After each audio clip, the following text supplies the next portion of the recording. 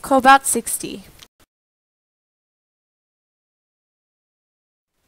Cobalt 60 is produced by overdosing a sample of cobalt 59 with an excess of neutrons in a nuclear reactor.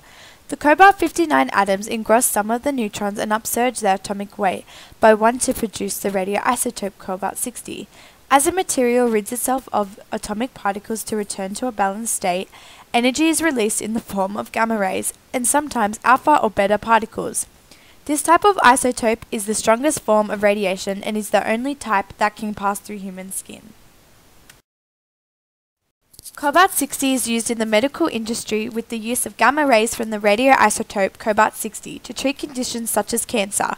It is used for radiotherapy for cancer, particularly on brain tumours. Beginning in the 1950s, cobalt 60 was mainly used in external beam radiotherapy machines, which produced beams of gamma rays which was directed into the patient's body to kill the tumour tissues. Radiotherapy is also extremely precise on where it attacks the tumour tissue because of its concentrated doses and it does not affect the surrounding tissues in the brain.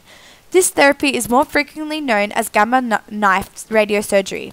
Gamma knife radiosurgery distorts or destroys the DNA of tumour cells, causing them to be uh, to, unable, to be unable to reproduce and grow.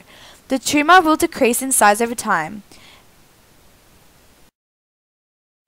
Benefits of using this radioisotope cobalt 60. Some benefits of using cobalt 60 include it treats tumours on the human body, the extended shelf life of foods that have been sterilised in this manner, sensitive and precise monitoring equipment, sterilization of medical slash food supplies. Its radiational emission levels are relatively low, making exposure to workers in an industrial environment safer. Its convenient cost is more efficient for industrial use, and its long half life means that it can be left within metal objects so that routine checks can be made without replacement.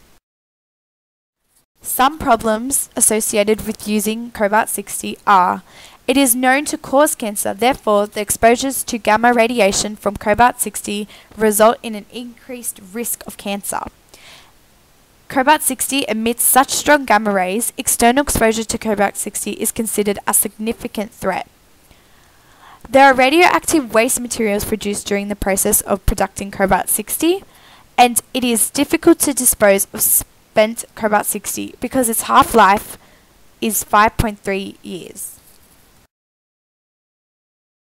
How do the benefits of using Cobalt 60 outweigh the problems associated with using Cobalt 60? The benefits and positives outweigh the negatives because the benefits actually help people, as well as also providing more health benefits and changing lives.